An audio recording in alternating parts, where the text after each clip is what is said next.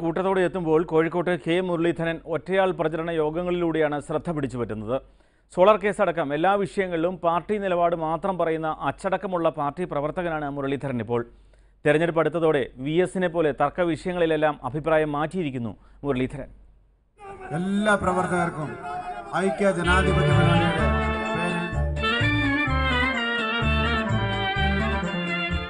ആ മെയ് മാസം പതിനാറാം തീയതി ഇലക്ഷൻ റിസൾട്ട് വന്നാൽ രാഷ്ട്രപതി പിറ്റേ ദിവസം എം പിമാരുടെ തലയുണ്ടും കോൺഗ്രസിന് എത്ര ബി ജെ പിക്ക് എത്ര? അതിൽ ഏറ്റവും കൂടുതലുള്ള കക്ഷിയുടെ നേതാവിനെയാണ് ഗവൺമെന്റ് ഉണ്ടാക്കാൻ ക്ഷണിക്കുക. അപ്പൊ നമ്മൾ ഈ സ്വത്തൊക്കെ ഭാഗം വെക്കുമ്പോൾ ഈ സ്ഥാപന ജംഗമ വസ്തുക്കളൊക്കെ തറവാടൊക്കെ ഭാഗം വെച്ച് കഴിഞ്ഞാൽ ചില സാധനങ്ങൾ ബാക്കിയുണ്ടാവും. അതാരും എണ്ണില്ല. ഈ കിണ്ടി കോളാമ്പി ഒന്നും ആരും കണക്കിലെടുക്കും അപ്പൊ കോൺഗ്രസിന് എത്ര ബി ജെ പിക്ക് എത്ര? അത് എണ്ണിക്കഴിഞ്ഞാൽ ഈ സഖാക്കന്മാരെ തലയൊന്നും അവിടെ എണ്ണില്ല.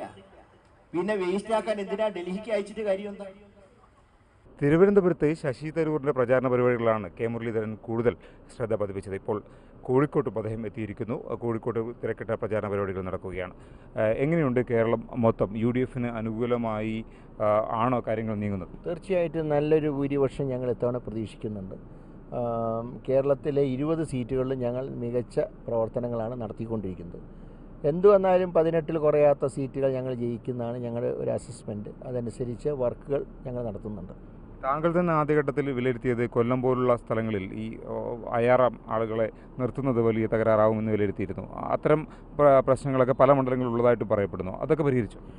ഞാൻ ആർ എസ് പി മുന്നണിയിൽ വരുന്നതിനെ ഞാൻ ആ ഘട്ടത്തിൽ എതിർത്തു എന്നുള്ള ശരിയാണ്. പക്ഷേ പാർട്ടി ഒരു തീരുമാനം എടുത്തതിന് ശേഷം ആർ എസ് പിയെ കൂടെ ഉൾക്കൊള്ളാൻ പാർട്ടി തീരുമാനിക്കുകയും യു ഡി എഫിൽ ഘടകകക്ഷിയാക്കുകയും ചെയ്തതിന് ശേഷം ആർ എസ് പി ഉൾപ്പെടെയുള്ള സ്ഥാനാർത്ഥികളുടെ വിജയത്തിന് വേണ്ടിയിട്ടുള്ള എല്ലാ പ്രവർത്തനങ്ങളും നടത്തുന്നുണ്ട്. തെരഞ്ഞെടുപ്പ് പ്രചാരണത്തിനിടെയാണ് ഈ സോളാറുമായി ബന്ധപ്പെട്ട് ഇടയ്ക്കിടെ ഉള്ള കോടതിയുടെ ഇടപെടലുകൾ ഉണ്ടാകുന്നത്. ഇപ്പം കഴിഞ്ഞ ദിവസവും പരാമർശമുണ്ടായി. പരാമർശം ഭാഗികമായി നീക്കുകയും ചെയ്തു. പക്ഷേ ഇതിനകത്തുള്ള ഒരു കാവ്യനീതി എന്ന് പറയുന്നത് നേരത്തെ കെ. കരുണാകരനെ പോലെ വളരെയധികം സ്വാധീനമുണ്ടായിരുന്ന നേതാവിനെതിരെ ഒരു പരാമർശമുണ്ടായപ്പോൾ അദ്ദേഹത്തിനെതിരെ ആയിരുന്നില്ല യഥാർത്ഥത്തിൽ അത് രമൺ ശ്രീവാസ്തവക്കെതിരെ ആയിരുന്നു. പക്ഷേ അതിന്റെ ചുവട് പിടിച്ച് അദ്ദേഹത്തിന്റെ രാജി ആവശ്യപ്പെടുകയൊക്കെ ചെയ്തിട്ടുള്ള ഉമ്മൻചാണ്ടിയാണ് ഇപ്പോൾ മുഖ്യമന്ത്രി. അദ്ദേഹത്തിനെതിരെയാണ് പരാമർശം ഉണ്ടായിരിക്കുന്നത് കെ. കെ. കരുണാകരന്റെ മകൻ എന്ന നിലയ്ക്ക് കൂടി മാത്രമല്ല ഒരു ഒരു രാഷ്ട്രീയ നിരീക്ഷകൻ എന്ന കൂടി എന്ന നിലയ്ക്ക് കൂടി. താങ്കൾ ഇതിനെ എങ്ങനെയാണ് കാണുന്നത്? ഞാനിപ്പോൾ അതിന്റെ ഒരു പോസ്റ്റ്മോർട്ടത്തിലേക്ക് ഞാനില്ല. പാർട്ടി ഒരു പ്രചരണ രംഗത്ത് ഒരു ഇലക്ഷൻ രംഗത്ത് നിന്ന് മുഖാമുഖം എൽ ഡി എഫുമായിട്ട് പോരാടുമ്പോൾ പഴയ ഒരു കഥയെക്കുറിച്ച് കഥയെക്കുറിച്ചൊരു പോസ്റ്റ്മോർട്ടത്തിൽ ഞാനിപ്പോൾ ഇല്ല. ഇക്കാര്യത്തിൽ താങ്കൾ മുഖ്യമന്ത്രിക്ക് പിന്തുണ നൽകുന്നുണ്ടോ? പാർട്ടി പിന്തുണ നൽകുമ്പോൾ അവിടെ കെ മുരളീധരന്റെ പ്രത്യേക പിന്തുണയ്ക്ക് പ്രസക്തിയില്ല. എങ്കിൽ പോലും പലപ്പോഴും ഒറ്റപ്പെട്ട അഭിപ്രായങ്ങൾ പറയാറുള്ള ഒരു വ്യക്തി കൂടിയാണ് താങ്കൾ.